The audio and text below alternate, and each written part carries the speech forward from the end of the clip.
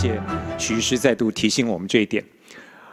好，在《如何打造全世界最好的工作》这本书中，谢文宪老师说：“与其更好，不如不同。”这个观念让我重新去思考人生的本质。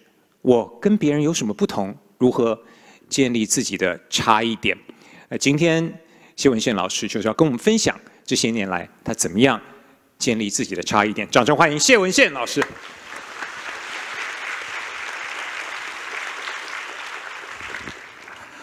史蒂芬·科维的书《与成功有约》，我很年轻的时候就看过。他过世之前的最后一本书《第三选择》，告诉我们说：你除了人生努力工作、赋闲在家之外，你永远都有更好的第三选择。他的答案是对社会做出贡献。我是谢文宪。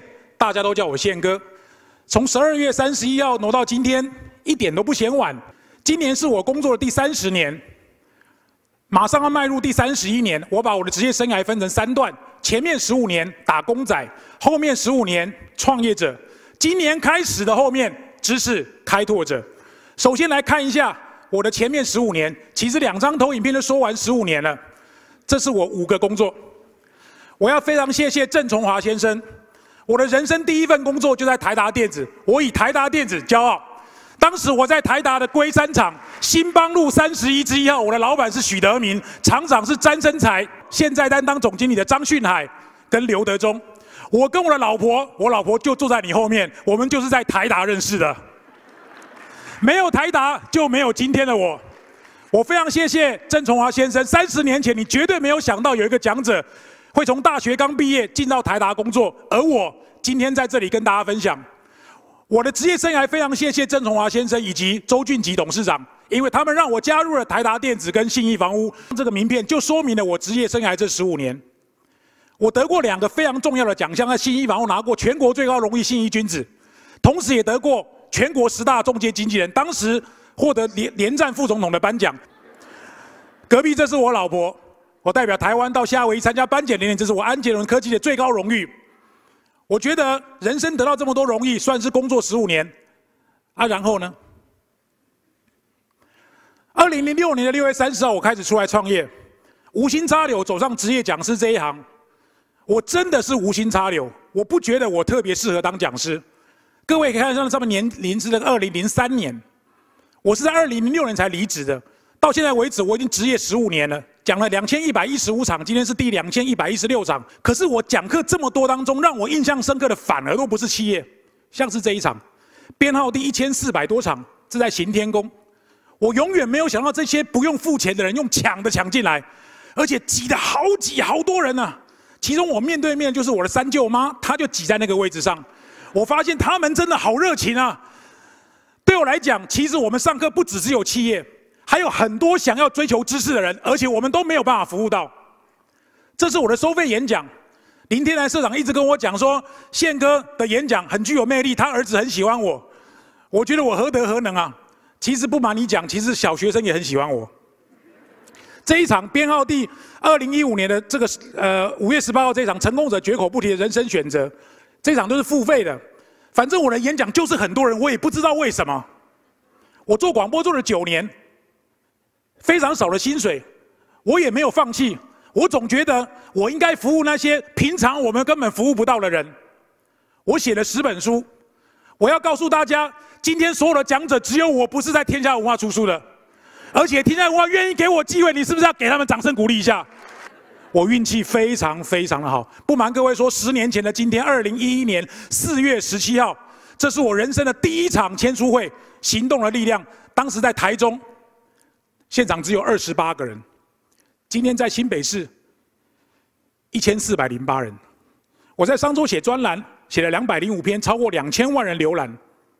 我在苹果写专栏，一共有五纸本跟网络，一共三十四篇。远见华人精英论坛算是我人生最高点啊！其中有一篇叫《人生没有平等，只有取舍》，超过一百三十五万人浏览。或许在座各位你们都曾曾经看过我写的文章，但是你们都记得吴宗宪，不会记得我。我一定要讲讲我跟天下文化的关系。我录他们的说书录的非常非常非常多，我非常喜欢看天下文化的书，包含这一本《你是谁》，比你做什么更重要。二零一九年的五月二十号是我正式宣布退休的日子，我就开始在想，功成名就以后呢，人生的下一步总是会安排很多的意外。上帝给我的三个礼物，第一个礼物，病痛。我的身体一向很好，但是就是有排尿不顺的问题。在座各位男性，如果你有排尿不顺，赶快去看泌尿外科，因为我一直吃药，其实也没有好转。动了手术之后才发现，医生宣布我得到射物腺癌。我永远没有办法想到癌症会跟我身上这么近。我第一次觉得我的生命有可能会在这里画下句点，可是我老婆看着我，我总觉得我不应该给我的家庭太多的压力。我决定积极治疗。积极治疗的方法就是更努力工作。我开始筹拍电影，这是我人生第一部想要筹拍的电影，叫《暗号》。虽然最后无疾而终，不过呢，还有一个案子，说不定你们有机会在明年。什么时候看到我筹拍的电影？这个在去年的八月四号拿到文化部的一千万辅导金。我想跟各位讲的是，我是电影的外行，这是身为知识分子最大的荣誉。这是我念书念的到现在为止，我觉得我身上最骄傲的一件事情是，我不要别人给我要我做什么，我想要做什么。我想告诉大家，虽然我病体的身躯，但是我瞄准目标的狂奔。本来想要在跨年跟各位讲，其实一点也不迟。第二个是意外。各位注意看那个日期，二零二零年一月一号，那一天其实我非常开心，就在我家阳台录的。待会各位听到我的声音。二零二零新年快乐！Happy New Year！我喊完之后，隔天空军有一架直升机从上面掉下来，上面坐了台湾的参谋总长沈一鸣上将。当天我跟郭台铭就坐在隔壁。我更意外的是，那件事情下来之后，我的爸爸生病，我的弟弟在公司心肌梗塞，送到台大医院急救。当我在照顾我爸爸，同时又去安慰我弟弟的时候，我问了我弟弟一件事：我说，你人生活到现在有没有什么遗憾？我弟告诉我，我的遗憾是，我没有曾经环岛过。我说啊，这么简单啊？其实我也没有环岛过哎。去年的这个时候，我跟我弟两个人在疫情最最肆虐的时候，我们两个去环岛。你知道吗？我在社会上称兄道弟的朋友有多少？大家看到我都叫宪哥，每个人都要跟我称兄道弟。可是我的亲弟弟只有一个。我觉得我过去这三十年完全没有照顾我弟弟，我就二话不说，花了四天的时间陪我弟环岛。最让我印象深刻的是，他在互互助营造工作，这个隧道是他们公司盖的。哎，各位现场的朋友们，大家好，这里是草埔隧道南回改改的一个入口。注意看开车的人是谁？是我弟。哎，这个是他大病初愈的日子。我们即将要进入。我陪他去环岛。一个是一个，这是我人生当中最美好的四天了。这是我跟我弟弟活到这个世界上五十几年，人生最美好的四天。当时我的感觉是，亲自台湾风光，人是热泪盈眶。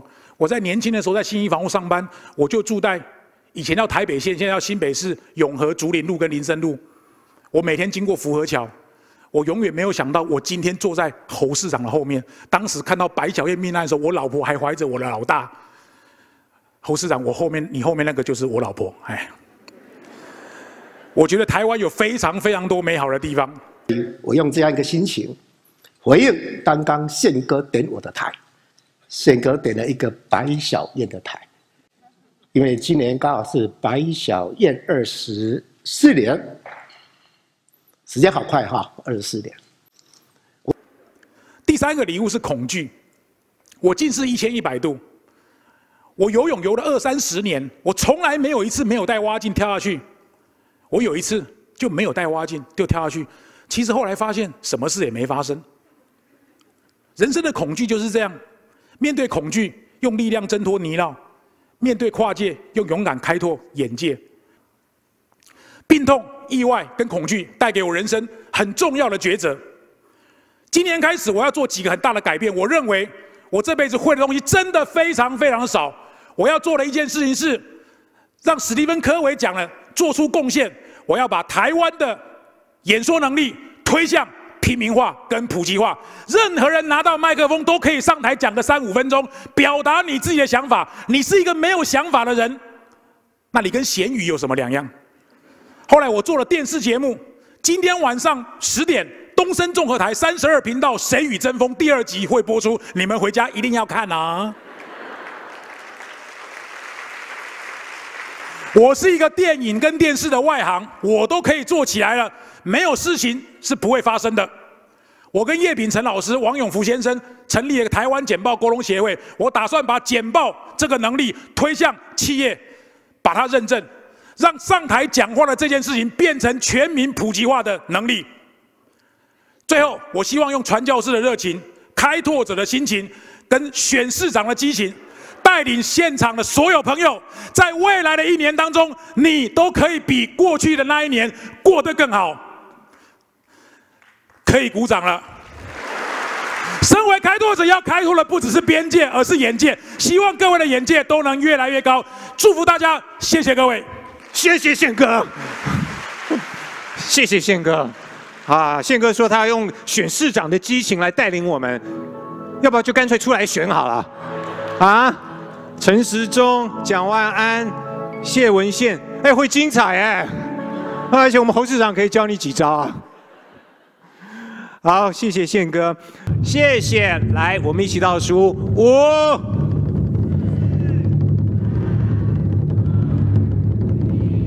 开启知识之光。是的，掌声鼓励。知识就是生命的盐和光。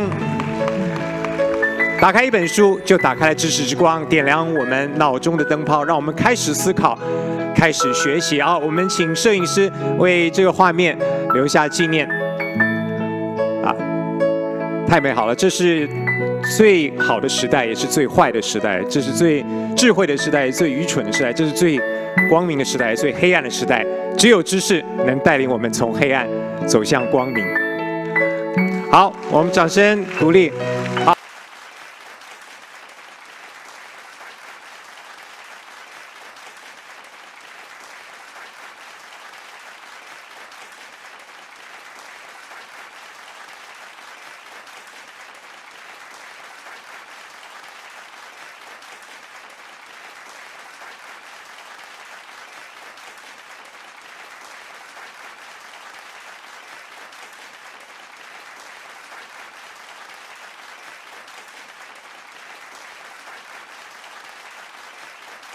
太精彩了。